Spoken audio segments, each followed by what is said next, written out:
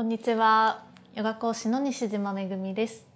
今日は忙しい現代社会、騒がしくなりがちなマインドを沈めていくヨガのプラクティスをお届けしたいと思います。今日もインヨガのメソッドを使いながら心身をリラックスさせていきたいと思います。通常のヨガがある程度筋力を使いながらこうアクティブに動いていくのに対してインヨガは一つのポーズを少し長めにホールドしていく中で抜ける力をどんどん抜いてそうすることでこう体の奥深く普段こう縮こまっていた筋肉だったり関節の周辺の組織だったりそうした硬くなっていたところをどんどんこう緩めてほぐしていくようなメソッドになっています。私たちねこう今、まあ、いろんな情報が溢れていたり、まあ、外の世界が不安定になっていたり心がこう揺れを動くことで体もぐっと縮こまったり緊張しやすくなったりしている人が多いと思います。寝ている時も知らず知らずその緊張を引きずっていて寝てもすっきりしなかったり疲れが取れないっていうこともあるかと思います。こうした意識的に心と体を緩めていく練習によってそうしたちょっとした日常の中でリラックスするっていうことがどんどん上手になっていくともっとこう楽に心地よく生きていく助けにもなると思います。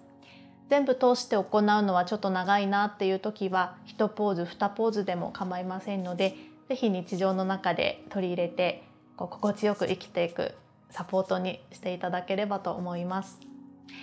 それでは始めていきましょう。ではまず、えー、座った状態。両足を伸ばしてから両膝を立てて両方の膝をこう上下に重ねていきます。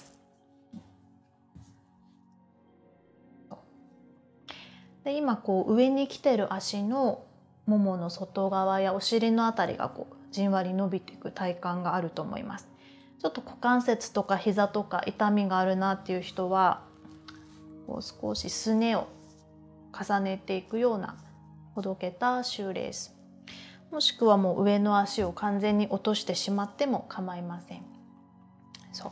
ちょっとご自分の状態に合わせて、まあ、このきつく結んだシューレースさっきの緩んだ状態ほどけた状態ちょっと足のポジションをあの自分が一番良い場所を見つけていってください。ちょっとお尻を持ち上げて座骨マットに落として。でここから軽く上体前に倒して両手を体の前について少し背中を緩めていきます。胸を左右に揺らしながら腰や背中優しくほぐすように。でも肩も楽に。で今こう上になってる足。私の場合右足ですけどそのお尻やももの外側こう気持ちよく伸びるところで動きを止めて鼻から吸って吐く息で優しく前屈。こう両手の位置も楽なところに置いてて大丈夫です。で体がもう楽にこう倒せる人はぐーっと足の上に上体を落としていくような感じでもっと圧をかけていってもいいですし足の間にクッションとかなんかブランケットとかを入れて少しこう楽にサポートしていっても構いません。そう。軽く顎の力も抜いて背中も楽に。まずは短い時間とどまっていきます。ちょっと体と心の準備っていう感じで。吸う息で胸や背中を広げるように。吐いて体の中の緊張を外へと吐き出して。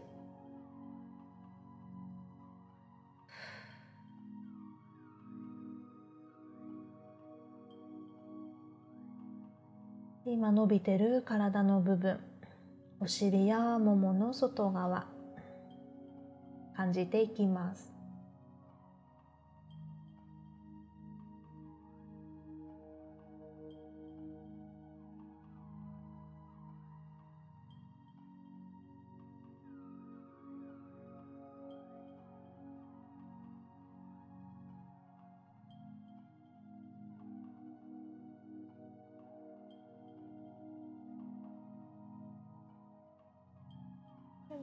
も一呼吸終わったら手の力を使ってゆっくりと起き上がっていきます。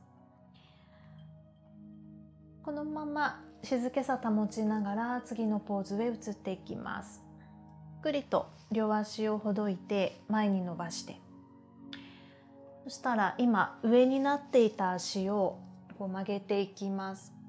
かかとのお尻の横にかかとがくる感じ。ちょっと見づらいと思うので逆足で見せるとこういう割り座の状態。もしこう足首とか痛いなと思ったらこうつま先外に出して大丈夫です。でちょっと膝も外に開いたり。またね膝とかこう足首とか痛みがないところに整えていってください。でこのポーズはこの後、えー、ハーフサドルのポーズというんですがゆっくり上体を後ろに倒すことでこの前もも曲げた足の前ももがしっかり伸びてきます。ちょっとご自分の体の状態確認しながらもう肘をついたこういう状態でホールドしても大丈夫です。もっといけるなっていう人はこのままゴロンと仰向けになっていく。そうで仰向けになっていくとまたちょっと伸びが強まってくると思うので膝を外に開いたり足首外に抜いたりこの伸ばした足も曲げたりちょっと外に開いたり。あのね痛みとかがないところに整えていってください、OK、そしたら落ち着く場所が見つかったら両手はお腹の上でも体側でも万歳してもどこでも大丈夫。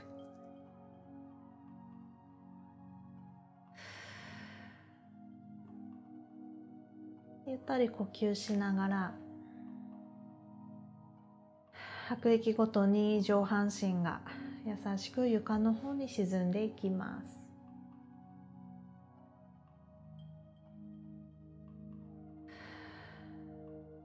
顎の力や頬眉間も楽にして。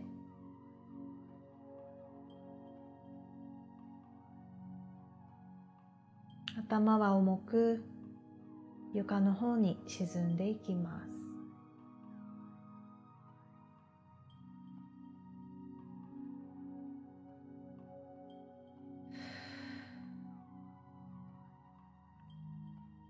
で今ね伸びてる。こう曲げてる足の前ももの感覚。でちょっと奥の方抵抗感があるような感じがあればまた吐く息ごとにその奥の方の抵抗している力をどんどん吐き出していきます。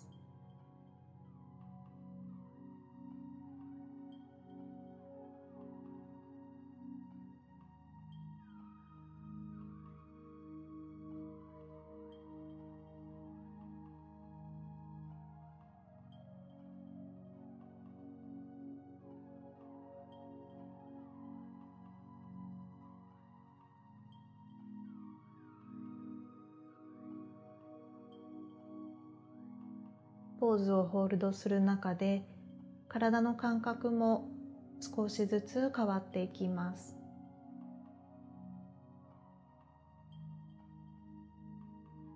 今ターゲットエリアではない逆の足縦膝にしている人は途中で足を伸ばしたくなったら伸ばしてもいいですし伸ばしてるのに疲れたら縦膝にしても構いません。両手も頭の方に伸ばしたり頭の下に引いたりしてちょっと上半身も優しく広げていったり。そうご自分が心地よいところに整えていきます。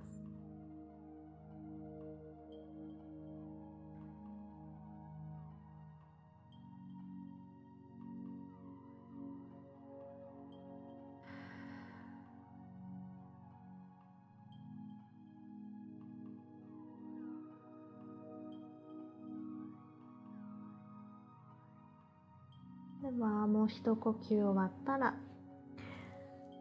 ゆっくりと今こう曲げてる方の足じゃない方に体重を乗せながらゆっくりと足を伸ばしていきます。一回仰向けになっていきましょう。この今体に広がる余韻を感じながらこのまま次のポーズに静かに移っていきます。バナナのポーズ。両膝を立てたらお尻を右側に動かしてここから両足をマットのこう左の端をめがけて伸ばしていきます。上半身も左側にこう傾けて上から見るとこうカーブを描いてる状態。右の体側が今大きく広がってきてます。両足、えー、左足を右足に引っ掛けたり反対に右足を左足に乗せたりそのままでもいいし両手も頭の方に万歳したり肘を抱えたりとご自分の落ち着く場所に整えていきます。ちょっといろんなポジション試しながらご自分がこの場所にとどまれるところでホールドしていきます。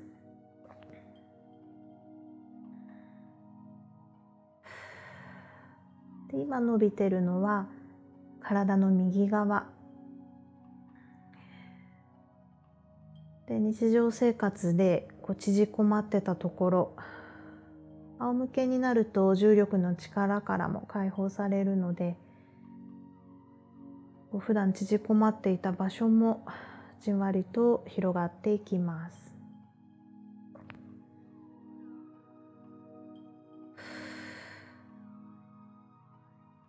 肩や肘。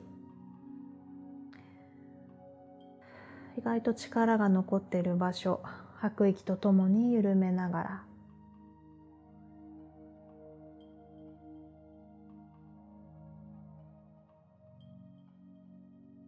最終的には呼吸の意識も手放していきます。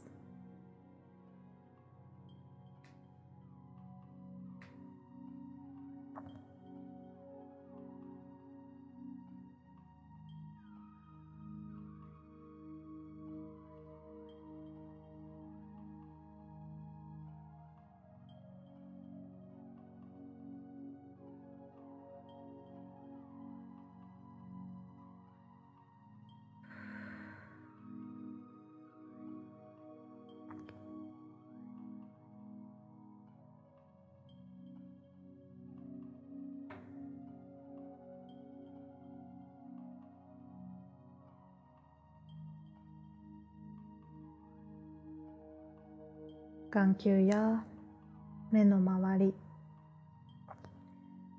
眉間の奥の方も少しずつ緩んでいきます。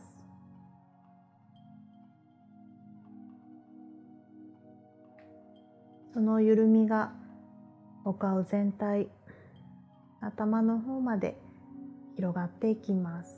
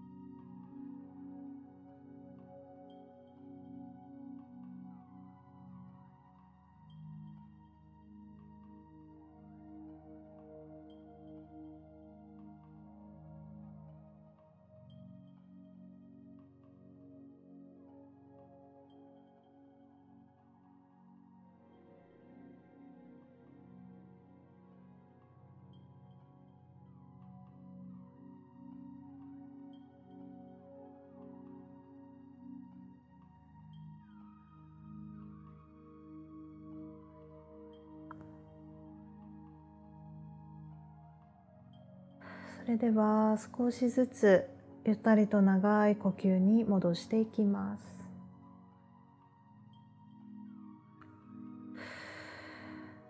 ゆっくりと両手両足ほどいてこのまま仰向けになっていきます。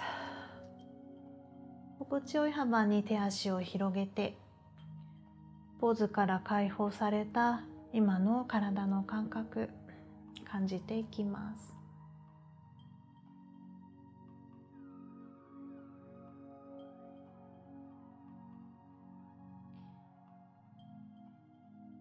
陰ヨガではこうしたリバウンドと言われるポーズから解放された時の体の感覚を感じる時間を設けていきます。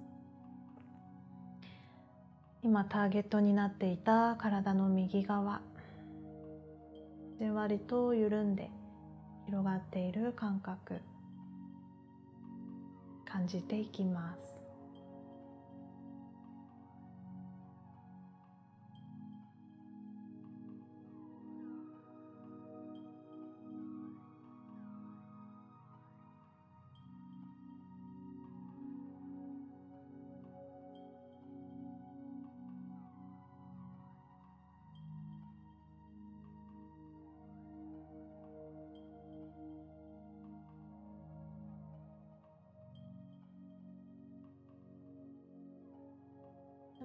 両手両足小さく動かしたり頭を揺らしたり少しずつ体を動かしていきます。ゆっくり両膝を立てたら両足胸の方に抱き寄せて体をゴロンゴロンと左右に揺らして。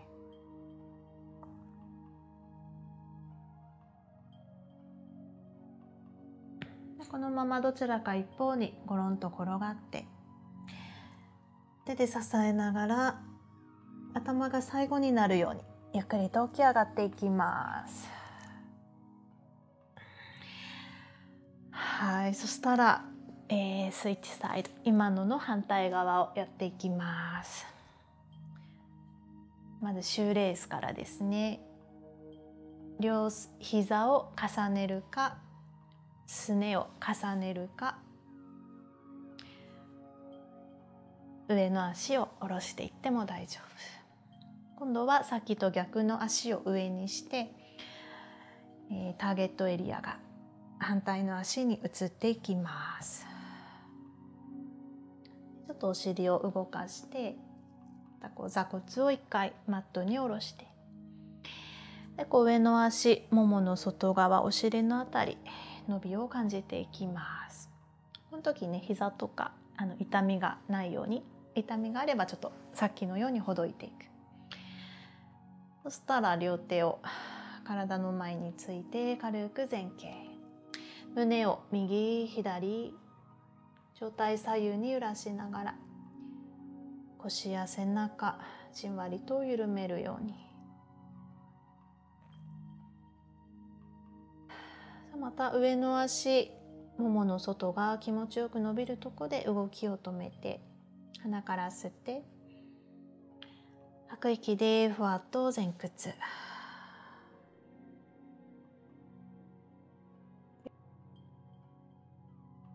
またさっきのようにお腹の間にクッションやブランケット入れていても構いません。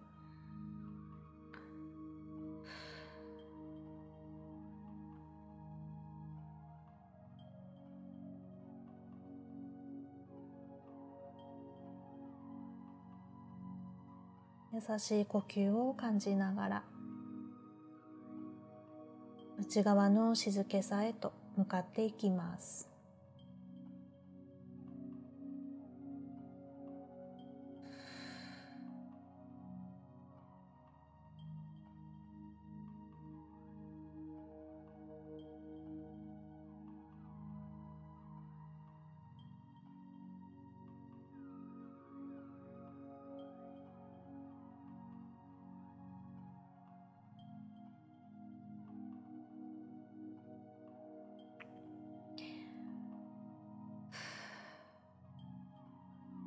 はもう。一呼吸終わったら手で支えながらゆっくり起き上がっていきますじゃ手を使いながら両足をほどいて前に伸ばしてで次はハーフサドル今上になっていた足を後ろに曲げていきます少し膝を開いたりつま先外に抜いたりさっきと同じよう。にあの膝とか足首痛みがないように調整していきます。ここからゆっくり 両手を後ろについて体を倒していきましょう。この曲げてる足の前ももじんわり伸びを感じながらこのまま余裕があればもう完全に体を倒していく、うん、今伸ばしてる足は縦膝にしてもいいし少し外に開いたりしてもいいし。ご自分のチョイス。両手も万歳したり頭の下に引いたりお腹の上でもいいし。そう全てね自分に委ねられてます。落ち着く場所が見つかったらそっとまぶたを閉じて。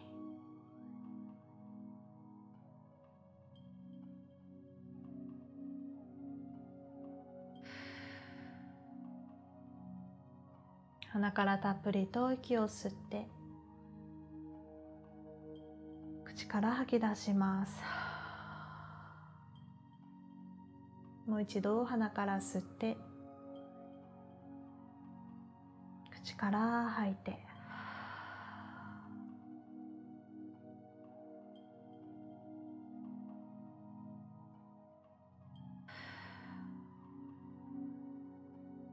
左足の前もも。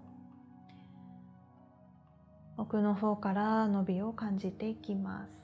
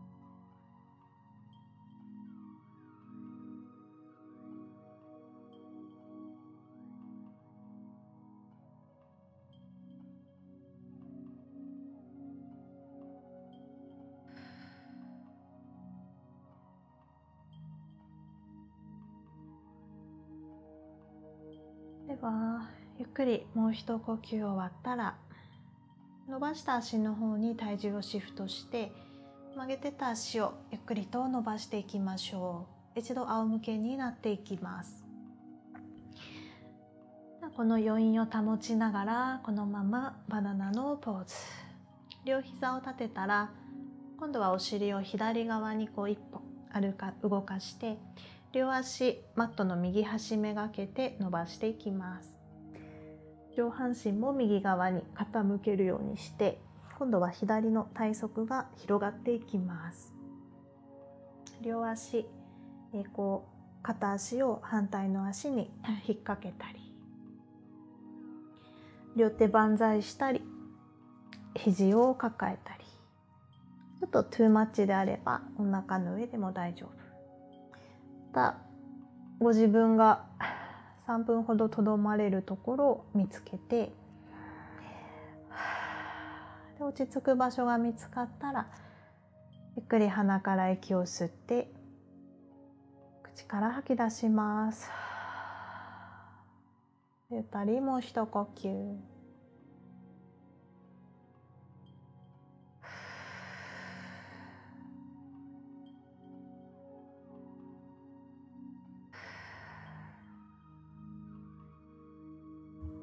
また肩や首両足抜ける力をどんどん抜いていきます。もう体の重さをそのままどんどん床の方へ沈めていくイメージ。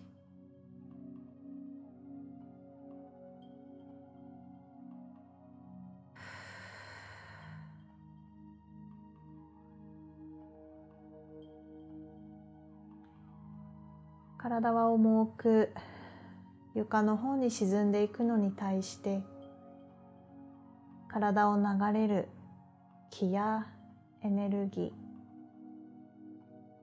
そうした目に見えないものはふわっと軽く体から浮いていくような感覚。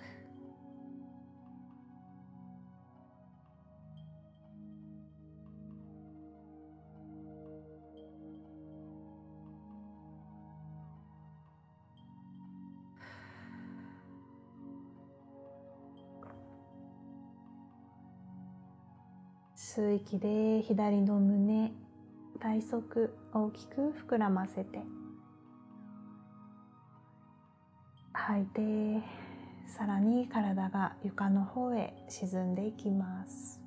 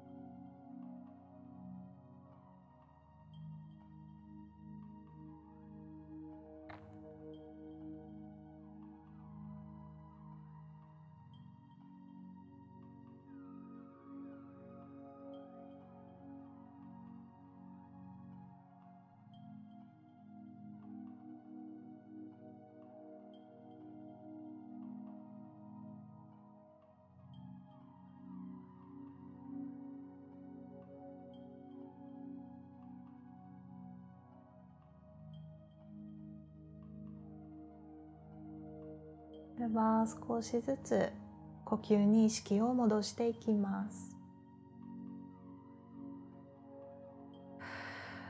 もう一呼吸終わったらゆっくりと手足をほどいて仰向けに戻っていきましょう。両手両足心地よい幅に広げてこの場所でポーズの余韻を感じていきます。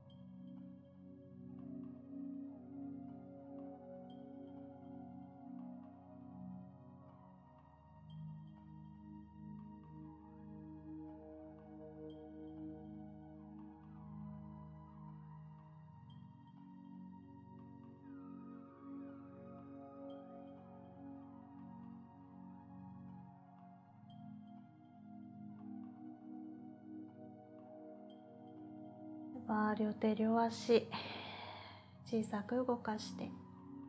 頭を左右に揺らしたり。大きく伸びをしたり。必要な動きを取り入れていきます。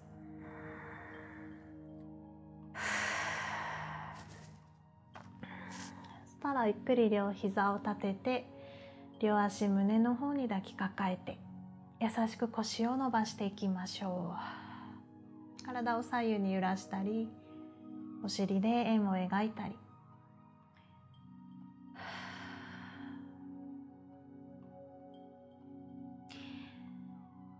今度ここから最後2つポーズをとっていきます。まずはリクライニングのバタフライ。ドラゴンフライですね。リクライニングのドラゴンフライ、えー、台でやる場合こう両足大きく開脚して前屈していくポーズになりますが今日このまま仰向けでやっていきます。こう両手チョキにして足の親指内側から取ってからぐっと両膝を伸ばしていきます。もうピンと伸ばさなくても大丈夫です。曲がってても大丈夫。でなるべくこう腰は床の方に下ろしながらここから両足を左右に開いていきます。で今こう内もも、え足の内側のラインが伸びていきます。ここがターゲットエリア。でなるべくお尻浮かずキュッと腰はマットに下ろしながら少しかかと押し出すイメージ。ブランブランと左右に揺れたりしても構いません。もしこの体勢すごいしんどいなってことであれば膝曲げてもいいしもうこのハッピーベイビー膝曲げて足裏取る体勢でも大丈夫。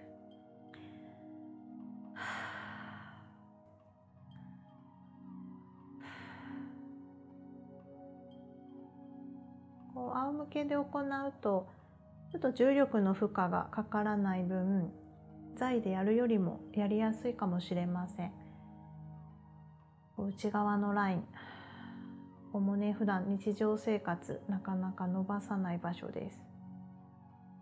ゆったり呼吸しながら足の付け根から膝の内側抜けて足首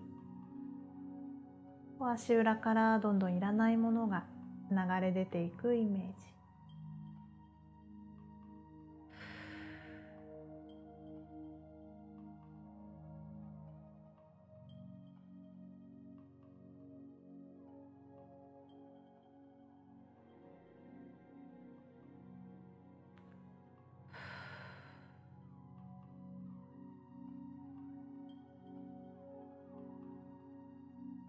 ゆっくり両膝を曲げて真ん中に戻っていきましょう。軽く足を抱きかかえてまた左右に揺れたりお尻で円を描いたり。ではここからラストのポーズ。スネイル。普通のヨガだと、えー、ハラーサナ好きのポーズと言われるポーズになっていきます。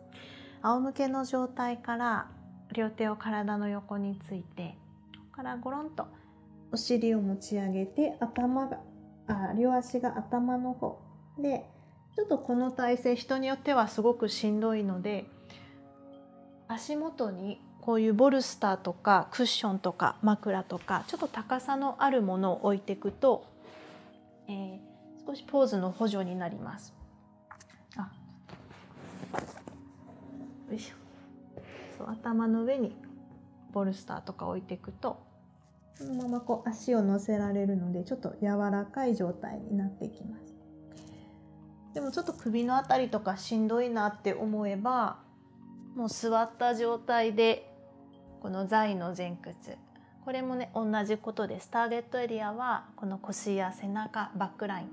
そう。なのでここ自分のチョイスでそんなに長くとどまりません。もう1分くらいちょっと短めにホールドしていきます、う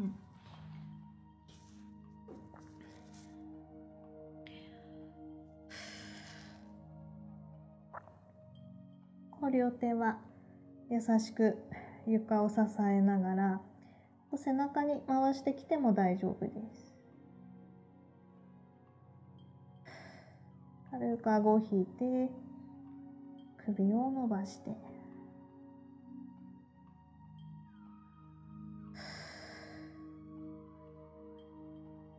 腰や背中。優しい伸びを感じながら。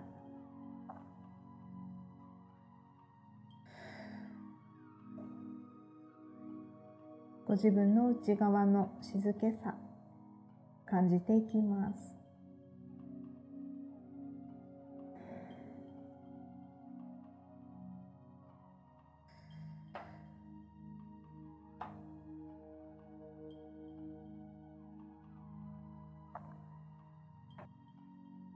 ポーズホールド時間が長すぎると感じる人は早めにほどいていっても大丈夫です。早めにほどいた人はこのまま仰向けのシャバーサナになっていきます。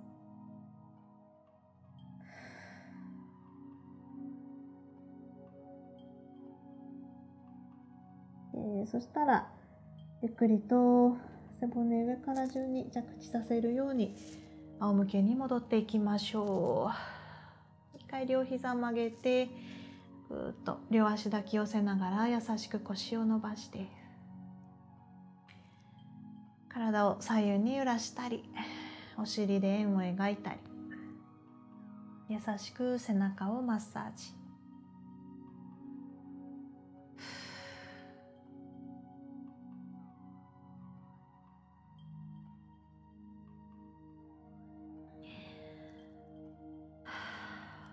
ではここから両手両足マットの方に投げ出して最後シャバーサナに入っていきます。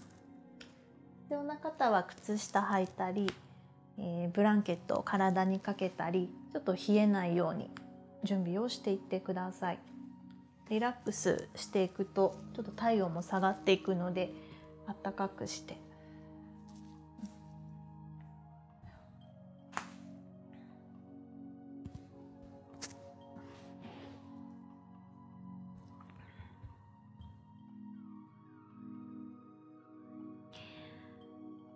両手両足心地よい幅に広げて外まぶたを閉じていきます。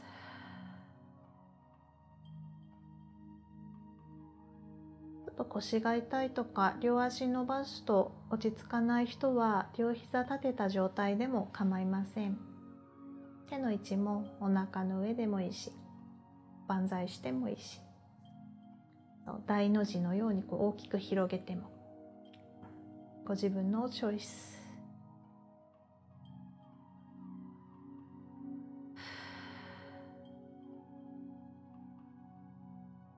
さっきターゲットになっていた腰や背中じんわりと広がるポーズの余韻を感じながら最終的にはその感覚が全身へと広がって。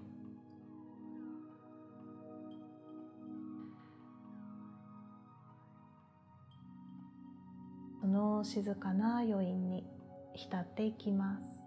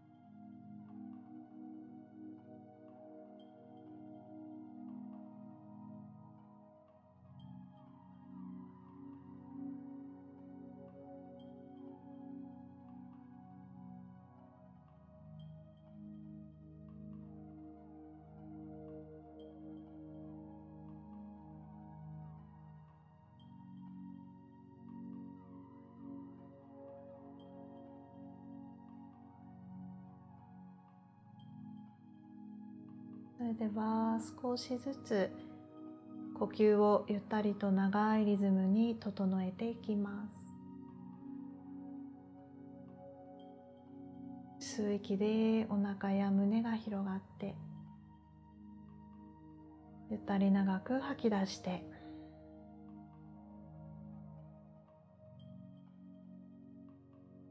もう一呼吸終わったら両手両足小さく動かしたり頭を揺らしたり少しずつ体を動かしていきます。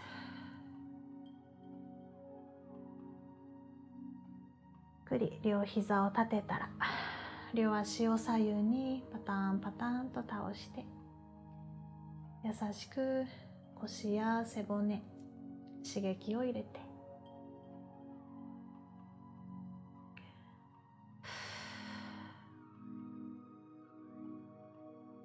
最終的にこのまま両足体ごと右側にゴロンと倒れて。この静けさ保ちながらゆっくりと起き上がっていきます。頭が最後になるように。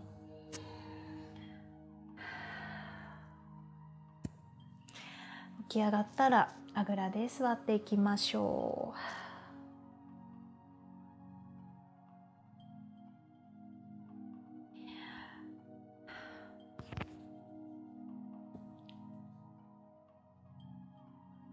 から片鼻呼吸法ナディショーダナを行っていきます。人差し指と中指を曲げて親指薬指こうそれぞれ右と左のこう鼻腔を鼻腔に触れていきます。まず親指で右の鼻腔を閉じて左の鼻からゆっくりと息を吸ってこのまま左手で左の鼻を閉じて右の鼻から吐き出します。右の鼻を開いて。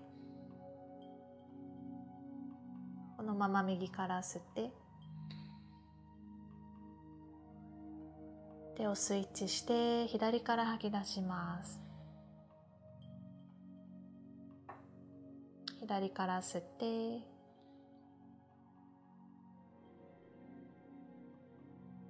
手をスイッチして右から吐いて。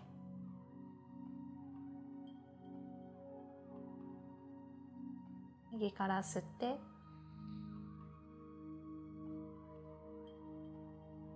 スイッチして左から吐いて。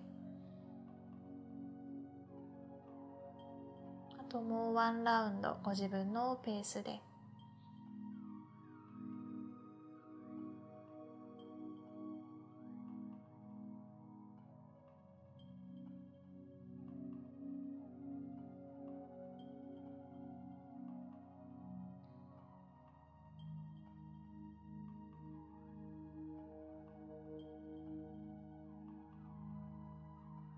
左から吐き終わったら両手をももの上に戻して外まぶたを閉じていきます。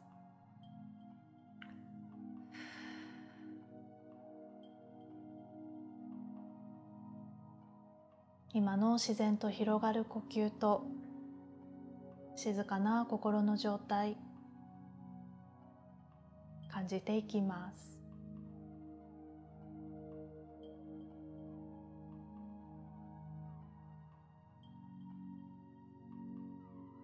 両手を胸の前で合わせて。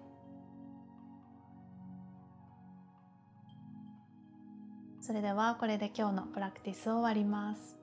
ありがとうございました。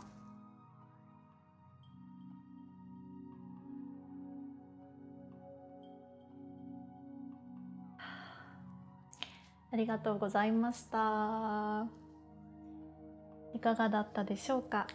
最後ね片鼻呼吸法ナディーショーダナも行っていました。行っていきました。この呼吸は片方の鼻から吸って片方の鼻から吐くっていうこう片方ずつこう使っていくことで左右のバランスを整えたりこう自律神経をバランスしていく効果もあると言われています。とても鎮静効果が高いので夜寝る前でもいいですし日中リラックスしたい時にもおすすめです。疲れたなっていう時、まあ、こうね今ちょっとざわざわしやすい時だと思うので意識的に心と体を緩める習慣を暮らしの中に取り入れながら心身ともに健やかに過ごしていきましょう。このプログラムを気に入ってくださった方は是非いいねや視聴者登録もよろしくお願いします。それではまた次のビデオでお会いしましょう。バイバーイ